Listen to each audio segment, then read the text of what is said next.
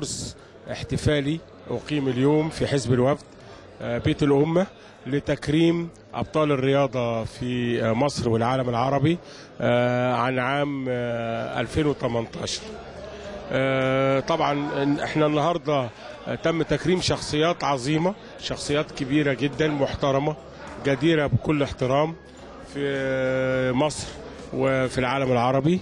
الأستاذ يعقوب السعدي كأفضل إعلامي عربي الكابتن أحمد شوبير كأفضل إعلامي آه، مصري آه، النادي الأهلي كأفضل نادي إفريقي ومصري عن عام 2018 آه، الكابتن وليد سليمان نجم النادي الأهلي أحسن لاعب في مصر. الكابتن وليد أزارو آه، نجم النادي الأهلي أحسن لاعب محترف في مصر. بالإضافة إلى كوكبة من الإعلاميين.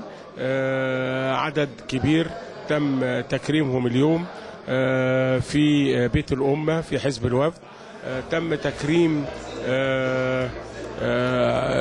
عدد لا بأس به اليوم. ونتمنى إن شاء الله استمرار ال- الاحتفالات داخل حزب الوفد.